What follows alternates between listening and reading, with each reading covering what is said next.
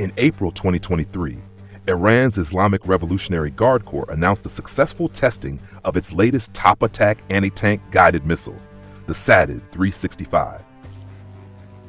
This development is a notable milestone in Iran's ongoing efforts to advance its indigenous weapons technology, particularly through reverse engineering Western military systems. Western analysts suggest that the Sadid 365 bears a striking resemblance to the American Javelin ATGM, a weapon system developed by Raytheon and Lockheed Martin, raising speculation that Iran may have derived its design from captured Western technology provided by Russia. Iran has a long history of reverse engineering Western weapon systems, a practice that has significantly enhanced its military capabilities. Reports indicate that Russia has transferred various Western weapons captured in Ukraine to Iran for examination and potential replication. The Toophan ATGM, developed from the US-made BGM-71 TOW, is one of the most well-known examples of this practice. Iran has also successfully reverse engineered a US RQ-170 Sentinel drone, producing the Saegeh UAV. Given this precedent, it is plausible that the Sadid 365 is another product of Iran's reverse engineering efforts, leveraging captured Javelin missile technology. Iran's ability to reverse engineer advanced weapons is a testament to its growing defense industry, which has become increasingly self-reliant due to decades of economic sanctions and military embargoes. The country has invested heavily in research and development, enabling its military-industrial complex to produce indigenous versions of Western military hardware. The Sadid 365 is designed as a precision-guided, optically tracked missile capable of engaging targets at a range of up to 8 kilometers. It employs a top attack mode, meaning it ascends after launch and then strikes the upper sections of a target's armor, typically the most vulnerable part of a tank. This capability is crucial for neutralizing modern main battle tanks that feature reinforced frontal armor but have relatively thinner protection on the turret top. Iran claims that the Sadid 365 can penetrate active protection systems, which are defensive countermeasures used by modern tanks to intercept incoming threats. This suggests that the missile is being developed to counter high-end Western and Israeli tank models, such as the M1 Abrams and Merkava 4, which feature advanced APS technology. The IRGC has plans to deploy the Sadid 365 not only as a man-portable infantry weapon, but also as a mounted system on armored personnel carriers. Reports indicate that IRGC ground force APCs will be armed with four Sadid 365 missiles enhancing their anti-armor capabilities.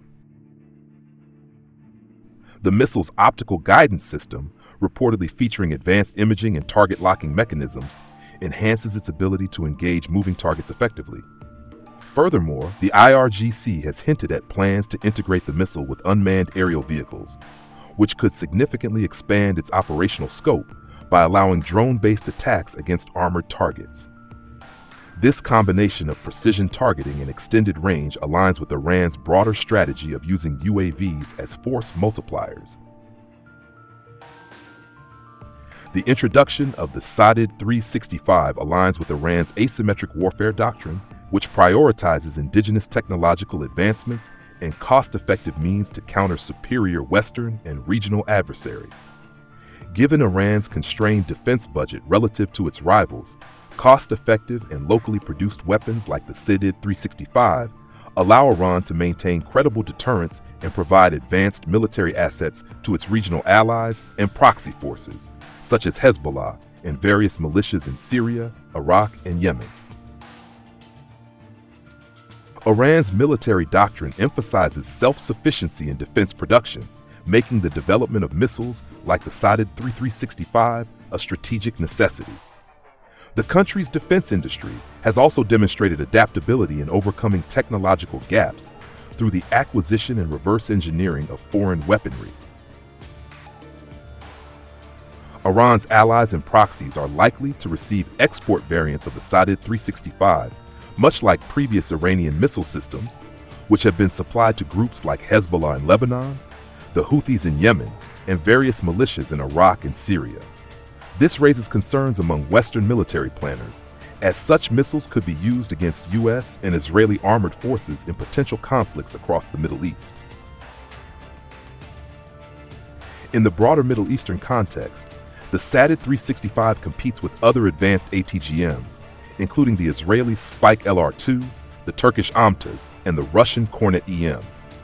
The Spike LR2, with its 5.5 kilometers for ground-launched and 10 kilometers range for aerial, offers superior fire and forget capabilities and greater battlefield versatility. The Kornet EM, used by Russian and Iranian-backed forces, has longer range, 8 to 10 kilometers, and a tandem charge warhead designed to defeat reactive armor. While Iran's missile technology has improved, it still lags behind Western and Israeli systems in terms of guidance accuracy, resistance to jamming, and sensor sophistication. However, given Iran's ability to produce such weapons at lower costs and in greater numbers, the SADD 365 could still prove to be a significant asset in guerrilla warfare and asymmetric combat scenarios. Turkey's OMTAS, developed by Roketsan, is another regional competitor to the SADD 365. The OMTAS, with a range of 4 kilometers and an infrared seeker, is optimized for engagement against heavily armored vehicles. While it has a shorter range than the SADD 365, it benefits from NATO standard production quality and compatibility with advanced targeting systems. However, unlike Iran, Turkey does not face the same level of sanctions, giving it access to superior materials and production techniques. The next phase of development for the SADD 365 will reportedly include folding fins and an improved fire control system, increasing its portability and ease of deployment. This would allow for easier integration with armored vehicles and attack helicopters, making it a more versatile battlefield weapon. Despite its advancements, Iran faces several challenges in fully capitalizing on the SADD 365. The lack of access to advanced microelectronics, thermal imaging technology, and high-quality composite materials means that its systems may still lag in reliability compared to Western-made counterparts. Moreover, the missile's actual battlefield performance remains untested in large-scale conflicts, making its true effectiveness speculative. The geopolitical implications of the SADD 365's proliferation could be significant. If Iran exports the missile to regional allies, it could shift the balance of power in localized conflicts, particularly in Lebanon and Syria. Western and Israeli forces will likely respond with countermeasures, including enhanced electronic warfare capabilities and APS improvements to neutralize Iran's growing anti-tank threat. The SADD 3365 represents another step in Iran's ongoing efforts to develop indigenous high-tech weaponry through reverse engineering. Its deployment will likely bolster Iran's regional influence and military capabilities, particularly through exports to allied non-state actors. While the missile may not yet match the technological sophistication of its Western and Israeli counterparts, its cost efficiency, local production, and strategic deployment make it a formidable addition to Iran's growing arsenal. As tensions in the Middle East continue to evolve, weapons like the SADD 365 will play a key role in shaping the battlefield dynamics of future conflicts.